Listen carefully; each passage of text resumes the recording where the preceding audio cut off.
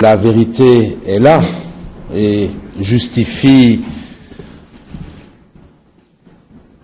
tout ce qu'il sera possible de faire les uns et les autres ensemble pour euh, mettre un terme à ce que Daniel Mitterrand appelait la folie des hommes, des dictatures qui savent bien qu'elles ne sont pas dans ce qu'il y a de plus présentable aux yeux du monde.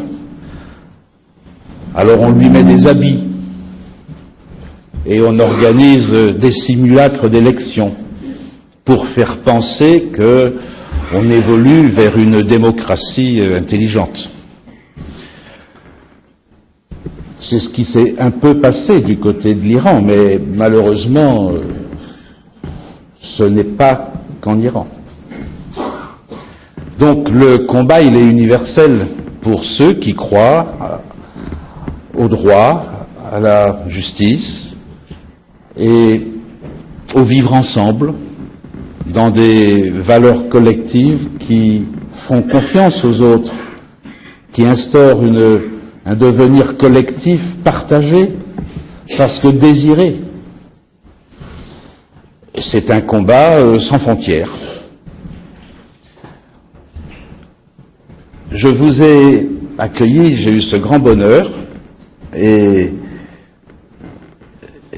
c'était il y a peu de semaines, au siège, enfin au siège, dans nos locaux de la Fondation France Liberté à Paris. Pourtant, la qualité de cette rencontre et de son hôte méritait que nous soyons tous avec vous ce jour-là. Mais je suis très impressionné d'être euh, avec vous aujourd'hui, reçu par euh, tant de visages euh, amis qui expriment leur gratitude et leur confiance.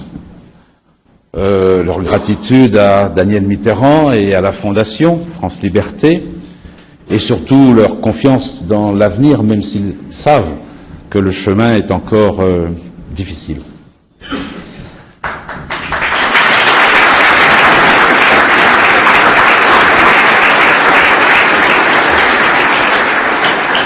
vous n'êtes pas seul au monde. C'est très modeste par rapport au devenir d'un peuple comme le vôtre. Mais sachez que notre fierté ne sera pas d'être euh, inscrite euh, sur vos témoignages de reconnaissance, ce sera d'avoir accompli ce chemin avec vous, à la hauteur de nos moyens, mais avec la même force de conviction des valeurs et de l'espoir que cela représente.